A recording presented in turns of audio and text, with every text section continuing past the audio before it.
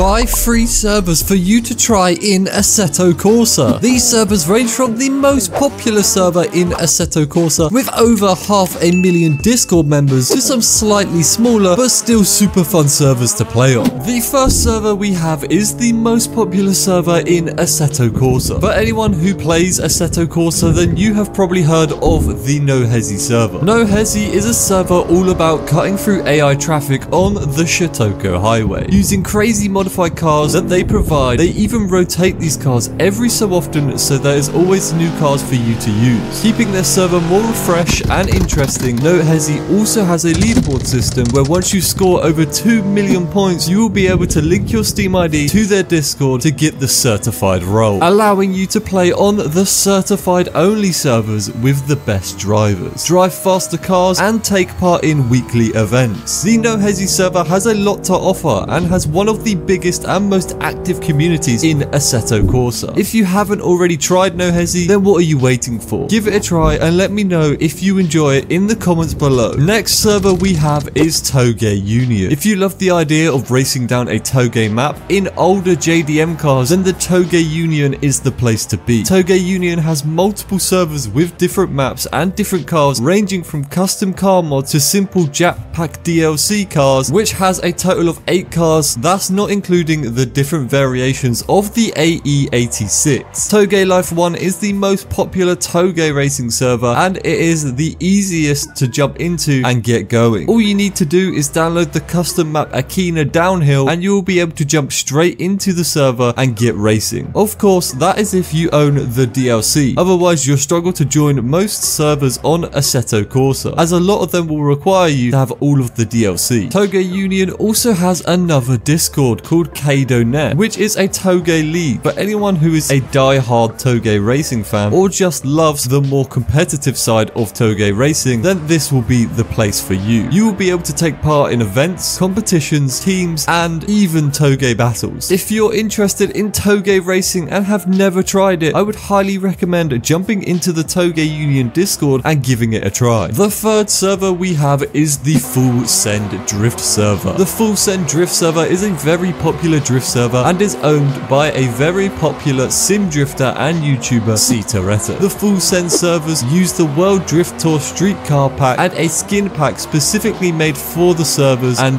the chosen cars. Each server has their own map and most of them are created by Citaretta himself. These servers only have different maps and not different cars so it's really easy to jump from one server to another. There are a total of four servers and the four maps that you can play on are Brooklyn Park, the Full Send Drift Park, Tamworth UK Streets, and Ebisu Higashi. If you're a big fan of drifting, then you need to give the Full Send Drift servers a try. Street Drifters is the fourth server on our list and is another incredibly fun drifting server. They have a few different servers that you can choose from, but I'm specifically going to talk about the Street Drifters Fruit Line server. This is a Touge drifting server, which even has a few AI cars driving around for you to dodge. As if Touge drifting wasn't hard enough, this server added some AI, which is why I really enjoy it. The Street Drifters Fruit Fruitline server is probably the most popular Touge drifting server in Assetto Corsa and always has a decent amount of players on it throughout the day. This server uses the World Drift Tour Street Car pack like most other servers as it is all round a great drifting car pack for all kinds of players. If you are relatively new to drifting, then maybe join a normal drifting server like the Full Send Drift server before you try this server as it can be relatively difficult to master at first. But once you're more comfortable, I would 100% give Touge drifting a try as it is by far my favorite type of drifting. Our final server is the Full Send Nordschleife server. You're probably thinking I have two Full Send servers on this list, however they are actually owned by different people and are not related in any way. This Full Send server has two servers which are both on the Nürburgring. Both servers have a different list of modded cars for you to race around the track in. These cars can range massively from a 135 brake horsepower Ford Transit to a 1049 brake horsepower RX-7 FD time attack car. The Full Send Nordschleife server even has a live timing page that you can view. This will let you see who is in the server, what they're driving, their current lap, their best lap, and it even has a live map so you can watch players race around the track in real time and it will even tell you if they crash. Crash. The Full Send Nordschleifer is perfect for anybody who loves racing or has always wanted to race around the Nürburgring in crazy cars with others. If this sounds like something you enjoy, then why not head down to the description and give it a try. And while you're down there, let me know what server is your favorite in the comments section below.